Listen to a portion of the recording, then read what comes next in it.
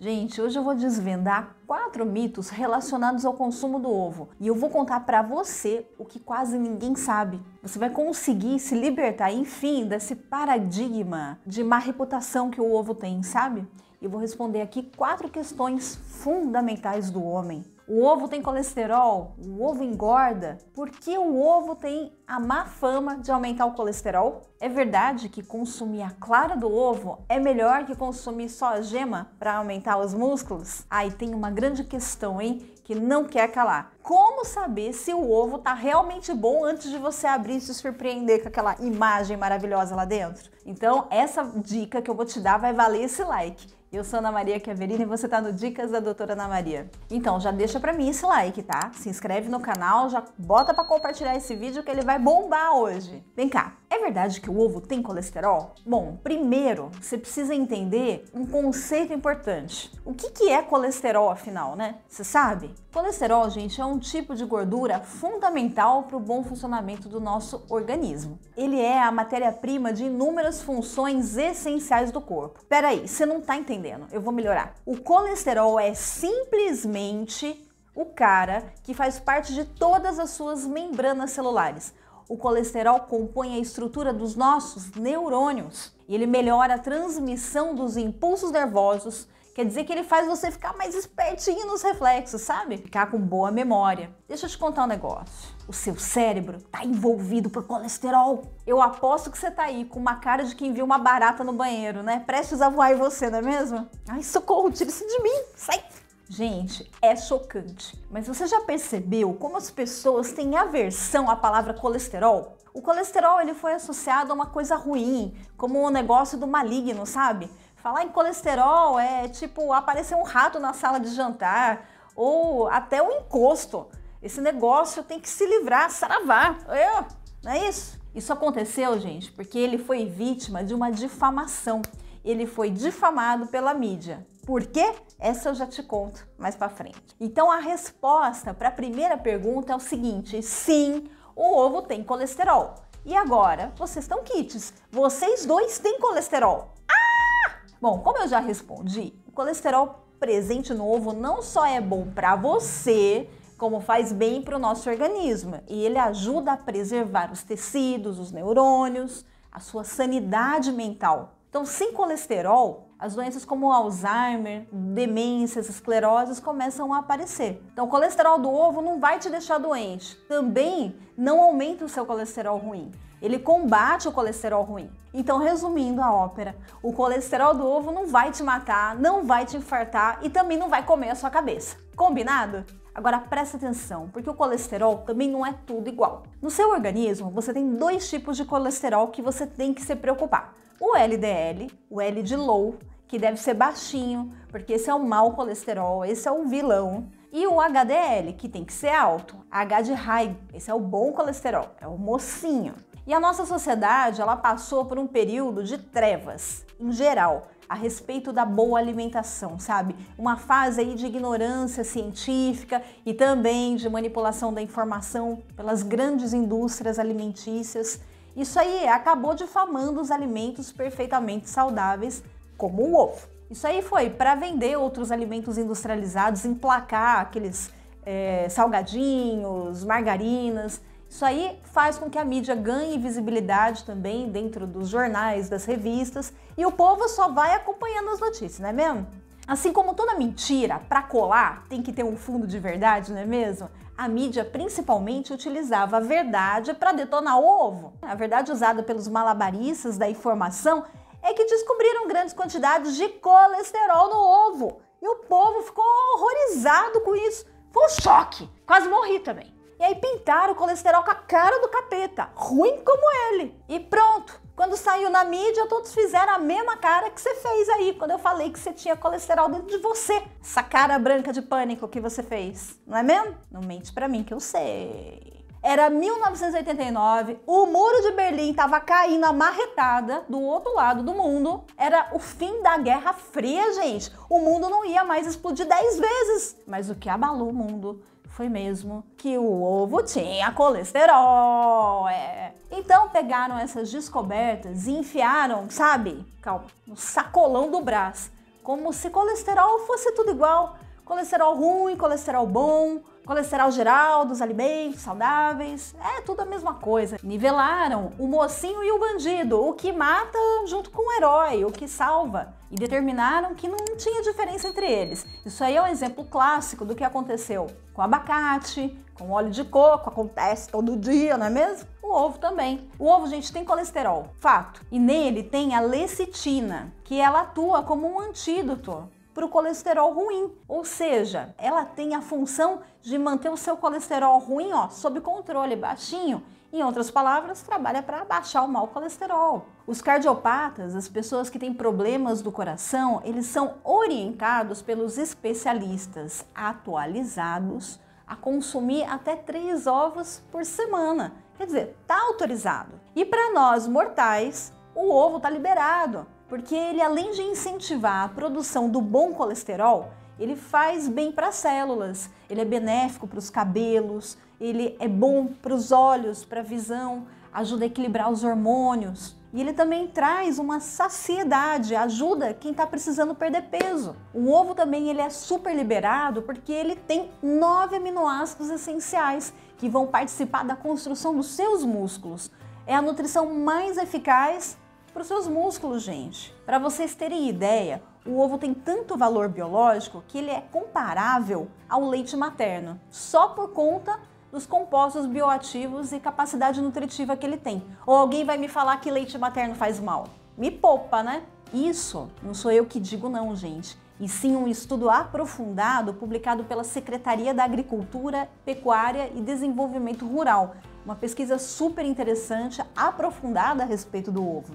E ele é fonte de alta qualidade de proteínas, de minerais, tem vitaminas, e ele chega a ser comparado a um polivitamínico natural, só por conta das grandes quantidades de vitamina A, de vitamina E, vitamina D, complexo B também, e tem a luteína e a colina. Se você quer saber mais benefícios do ovo detalhadamente, eu já fiz um vídeo sobre isso, vou deixar aqui nos cards para você acompanhar. Vale muito a pena ver quantos benefícios e quantos tratamentos você pode conseguir só comendo um ovo por dia. E um estudo feito nos Estados Unidos mostrou que a ingestão integral do ovo mais a clara, mantendo aí a proporção de 1,8 gramas de proteína por quilo de peso, é mais eficiente na hora de você aumentar a sua massa muscular. Atletas que fazem musculação, olha, ovo é muito bom para vocês. E os pesquisadores da Universidade de Illinois descobriram que a gema traz mais ganhos à hipertrofia do que somente a clara do ovo.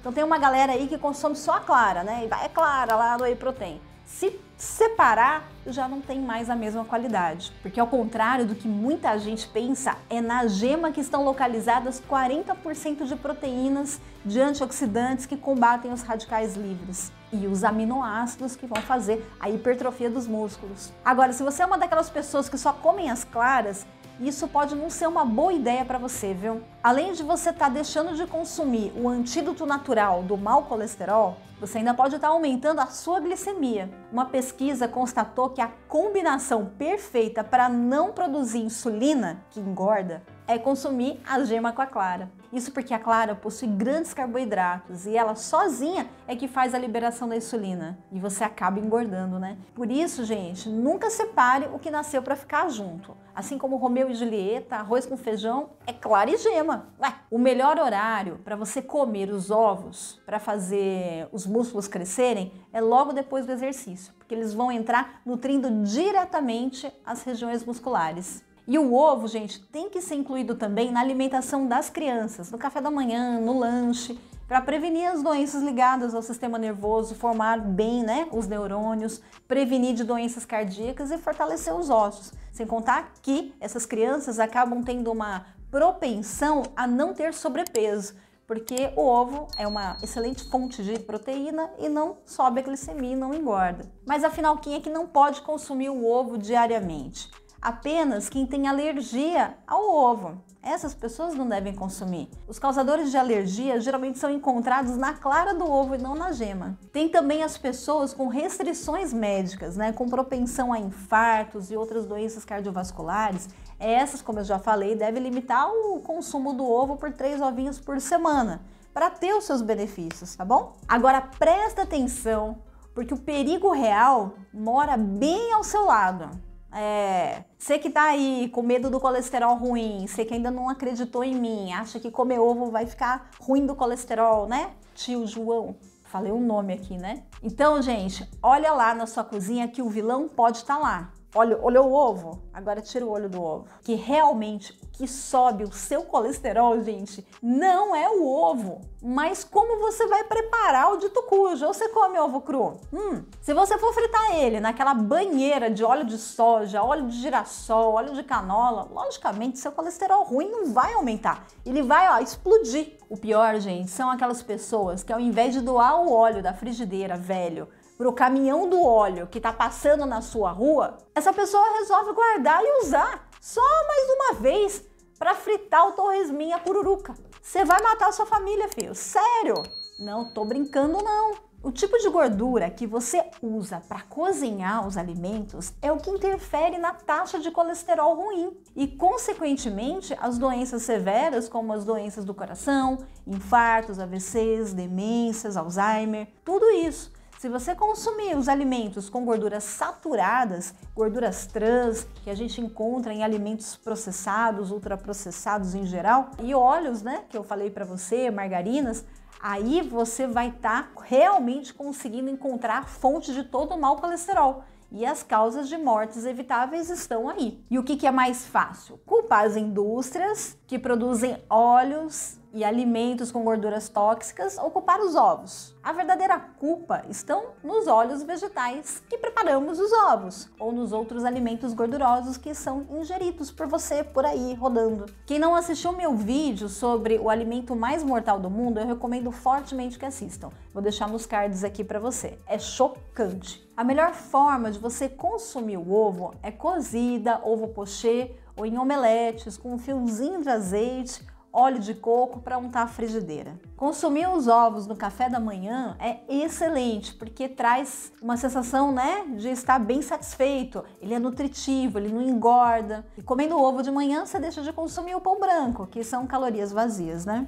Agora me conta uma coisinha. Você gostaria de nunca mais ser surpreendido por um ovo estragado na sua cozinha? Seria incrível, né? ou ficar na dúvida se aquele ovo de casca meio molenga tá bom ou não tá, então fica de olho nessas dicas de ouro que eu vou passar para você aqui. Ó, essas dicas são de ouro mesmo, você vai ficar sabendo se o ovo tá bom ou não tá, se ele tá velho ou não tá. O problema do ovo velho, gente, principalmente, é que nele podem ter se perdido muitos nutrientes. Nem todo ovo velho está estragado, mas está sem nutriente. A primeira dica, gente, é agitar o ovo, chacoalhar mesmo. Quando você fizer isso, o bom é você não ouvir nenhum barulho de líquido. Não é que nem uma concha do mar que você fica ouvindo do mar. Não, você vai estar tá lá no mercado, você vai colocar, chacoalhar e colocar no ouvido. Se não ouvir nada, esse ovo tá bom. Quanto mais silencioso, melhor. Se você ao quebrar o ovo, a sua clara se dispersar, tá indicando que ele perdeu o frescor. Isso daí é assim, você bateu, quebrou o ovo, a gema foi para um lado, clara pro, por outro, eles estão brigados. Esse ovo tá bem velho mas não está estragado. Agora, quando você quebra o ovo, a gema não pode sair de lá partida, sabe? Ela tem que sair inteirinha junto com a clara. Ao menos que você seja aquela pessoa que não deveria estar tá abrindo o ovo, né? De tão desastrada. Uma dica é quando você abrir os ovos, uma gema após o outro estiver rompida, depois de cinco ovos, podemos concluir que o problema pode não ser do ovo, se é que você entende. Por que, que você vai abrir o ovo se você não sabe abrir o ovo certinho? Quando você abrir o ovo e ele estiver exposto à luz, ele deve exibir uma sombra.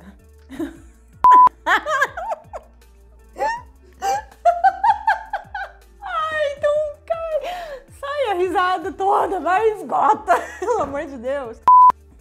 Quando você abrir o ovo e ele estiver exposto à luz, ele deve exibir uma sombra mas sem contorno aparente. Gente, eu não tenho a menor ideia do que isso significa. Eu já abri mais de 10 ovos, ainda não fez sentido isso para mim. Eu espero que essa informação seja útil para você. Vai, procura o contorno e quando você encontrar, volta para me falar.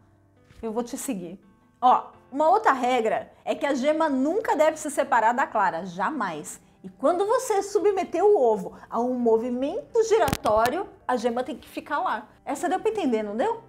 Ah, movimento giratório. Sabe quando você quebra o ovo e põe ela, o ovo na frigideira? Quando você girar a frigideira e o ovo correr pela frigideira antiaderente, a gema tem que ir atrás. Deu para entender? Precisa de um tutorial para entender o tutorial, você não acha? Nunca achei que ia ser tão complicado assim. Bom, e quando você romper o ovo, você tem que observar uma clara transparente, consistência gelatinosa, livre de qualquer matéria estranha.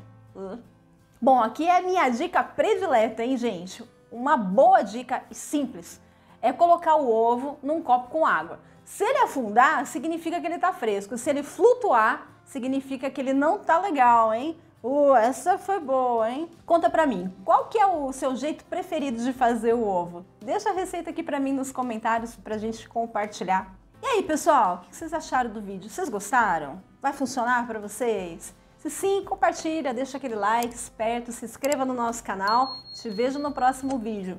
Grande beijo!